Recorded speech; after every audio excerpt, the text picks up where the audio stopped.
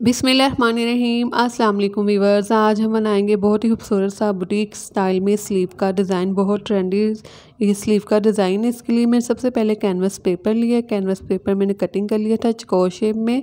To by two में मैंने cutting किया टू इंच वीट है लेंथ भी इसकी टू इंच है। तो आप अगर स्लीव छोटे बनाना चाहते हैं तो वन पॉइंट फाइव इंच के मार्जिन से भी आप इस कैनवस पेपर को कटिंग कर सकते हैं। सो ये मेरे स्लीव का फैब्रिक लिया रेशमी फैब्रिक है सिल्क का फैब्रिक है। तो आप इसकी जगह कॉटन और लोन का फैब्रिक भी ले सकते हैं। अब इस फैब्रिक की बैक साइड पे इस तरह से मैंने इन चकोर को पेस्ट कर दिया। प्रेस की मदद से थोड़ा सा फैब्रिक छोटे इन्हें हम वन बाय वन करते हुए कटिंग कर लेंगे। इन्हें फिर वन बाय वन हम यू एच यू की मदद से पेस्ट करके सारे फैब्रिक को कैनवस पेपर के ऊपर पेस्ट कर देंगे। जब तक मैं इसे पेस्ट कर रही हूँ अगर आप नए तो मेरे चैनल को प्लीज़ प्लीज़ ज़रूर सब्सक्राइब कीजिएगा। बहुत ही मेहनत से वीडियो बनाते हैं। और वीडियो को लाइक और शेयर भी ज़रूर कीजिएगा।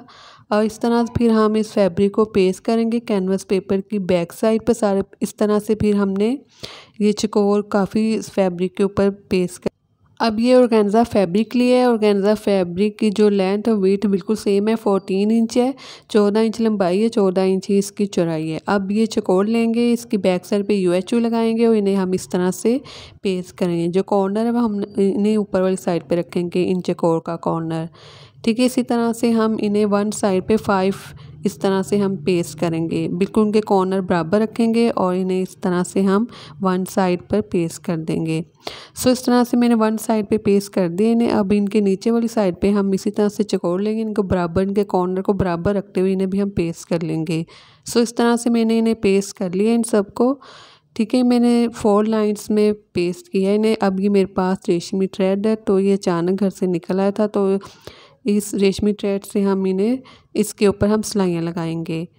ठीक है, इस तरह से फिर हम इसके ऊपर सिलाइयाँ लगाना शुरू करेंगे, स्टिचिंग करना स्टार्ट करेंगे, बिल्कुल आउटलाइन के ऊपर हम इसे स्टिच करेंगे और जिक जैक में करेंगे ताकि नीटनेस आए और बिल्कुल सही, अगर वन वन वन वन करते हम स्टिच करेंगे तो नीटनेस नहीं आएगी इसमें तो इसलिए मैं जिक जैक में इसे स्टिच कर रही हूँ और फिर दूसरी साइड पर टर्न करेंगे, इस साइड पर भी हम इसी तरह से जिक जैक में इन्हें, इनके ऊपर सिलाइयाँ लगाते हुए इन्हें स्टिच कर लेंगे रेशमी थ्रेड के साथ। सो, इस तरह से हमने स्टिच कर लिया, स्लीव का फैब्रिक है।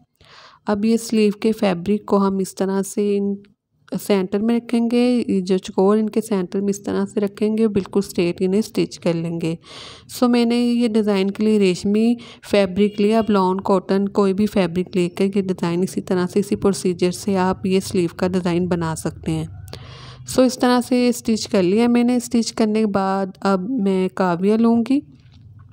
ठीक है, अब ये काविया है, इसे मैंने गर्म करने के लिए रख दिया था। अब जो बिल्कुल एंड वाली साइड है स्लीव की बॉटम वाली साइड है, इस साइड से हम जो एक्स्ट्रा ऑर्गेन्जा फैब्रिक है, इसे हम काव्य की मदद से रिमूव कर देंगे। आप सीजर से भी कटिंग कर सकते हैं तो मेरे पास काव्य तो काव्य से मैं रिमूव करूँ ताकि जो थ्रेड है, वो अच्छे से लॉक हो जाते हैं। अब ये मेरे पास पर्ल्स हैं, इनके कॉर्नर पर रखते हुए इन्हें भी हम सुई की मदद से स्टिच कर लेंगे।